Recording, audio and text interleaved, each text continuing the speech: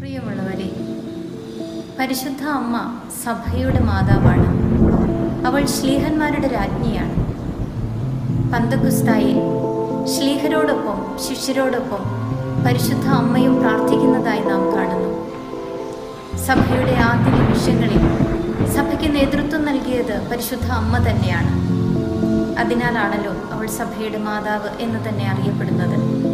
പന്തക്കുസ്തായിലെ മാതാവിനെ കുറിച്ച് നമുക്കിന്ന് ധ്യാനിക്കാം. വിശുദ്ധ ലൂക്ക വിവരിക്കുന്ന അപ്പസ്തൂല പ്രവർത്തനത്തിലാണ് ജെറൂസലേമിൽ സമ്മേളിച്ച ആദ്യ ക്രൈസ്തവ സമൂഹത്തെക്കുറിച്ച് നാം മനസ്സിലാക്കുന്നത്. ഒന്ന് പതിനാലിൽ നാം ഇപ്രകാരം വായിക്കുന്നു.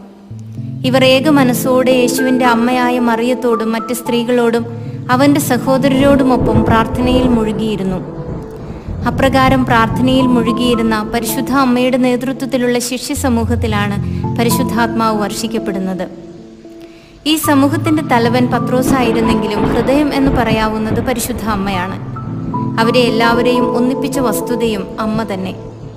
അതുകൊണ്ടാണ് ജോൺ പോൾ രണ്ടാമൻ മാർപ്പാപ്പ ഇപ്രകാരം പറയുന്നത്. സഭയിൽ പരിശുദ്ധ അമ്മയിലേക്ക് വിരൽ ചൂണ്ടുന്ന ഒരു മാനവും പത്രോസിലേക്ക് നീങ്ങുന്ന മറ്റൊരു മാനവുമുണ്ട്. ഇവ രണ്ടും പരസ്പര പൂരകങ്ങളാണെങ്കിൽ മാതാവിന്റെ ശ്രേഷ്ഠത പത്രോസിന്റെ ശ്രേഷ്ഠതയേക്കാൾ ഉയർന്നു നിൽക്കുന്നു. നാം കണ്ടതുപോലെ പരിശുദ്ധ അമ്മയെപ്പറ്റി പറയുന്നത് അവളെല്ലാം തന്റെ ഹൃദയത്തിൽ സംഗ്രഹിച്ചു എന്നാണല്ലോ. ആദിമസഭയുടെ തായ്വേരെന്ന് പറയാവുന്നത് അമ്മ പുത്രനെക്കുറിച്ച് ഹൃദയത്തിൽ സംഗ്രഹിച്ച പച്ചപിടിച്ച ഓർമ്മകളും വിവരണങ്ങളും വ്യാഖ്യാനങ്ങളുമാണ്. ജോൺ പോൾ രണ്ടാമൻ മാർപ്പാപ്പ ഇങ്ങനെ പറയുന്നുണ്ട്.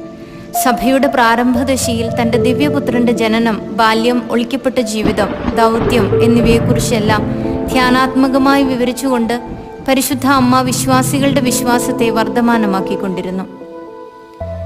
സുവിശേഷങ്ങളിൽ നിന്ന് അപ്പസ്തോല പ്രവർത്തനങ്ങളിലേക്ക് നാം പതിമൂന്നി കയറുമ്പോൾ മനോഹരമായൊരു ദൈവശാസ്ത്ര ദർശനം കൂടി നമുക്ക് കാണാം. പഴയ ഇസ്രായേലിനെ പൂർത്തീകരിച്ചുകൊണ്ട് പുതിയ ഇസ്രായേലായ സഭ വളർന്നു വരുന്നു.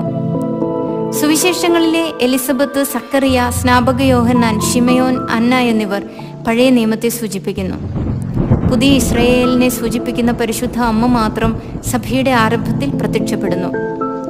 ക്രിസ്തുവിനോട് എപ്പോഴും ഗാഠമായി ഒന്നിച്ചിരുന്ന ആ മാതൃഹൃദയം പുതിയ ഇസ്രയേലായ സഭയുടെ ആദിരൂപമാണ്.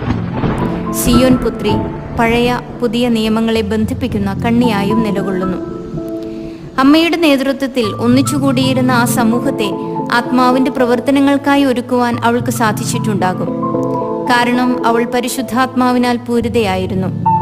പരിശുദ്ധാത്മാവിന്റെ നവമായ പ്രവർത്തനം അമ്മ തിരിച്ചറിഞ്ഞു. ബെനഡിക്റ്റ് പതിനാറാമൻ മാർപ്പാപ്പ ഇപ്രകാരം പറയുന്നുണ്ട്. പന്തക്കുസ്ത ഇല്ലാതെ സഭയില്ല പരിശുദ്ധ അമ്മയില്ലാതെ പന്തക്കുസ്തയുമില്ല. അഗാധമായ എളിമയും പരിശുദ്ധി നിറഞ്ഞ സ്നേഹവുമാണ് അമ്മയെ പരിശുദ്ധാത്മാവിന്റെ മണവാട്ടിയാക്കി തീർക്കുന്നത്.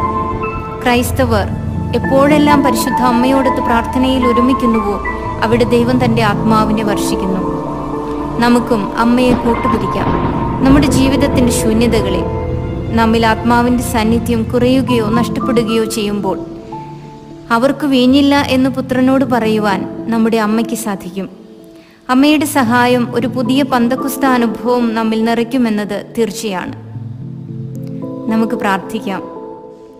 പരിശുദ്ധ അമ്മേ ദൈവമാതാവേ ഒരു പുത്തൻ പരിശുദ്ധാത്മ അനുഭവം കൊണ്ട് ഞങ്ങൾ നിറയുവാൻ ഞങ്ങൾക്കായി സർവേശ്വരനോട് പ്രാർത്ഥിക്കണമേ.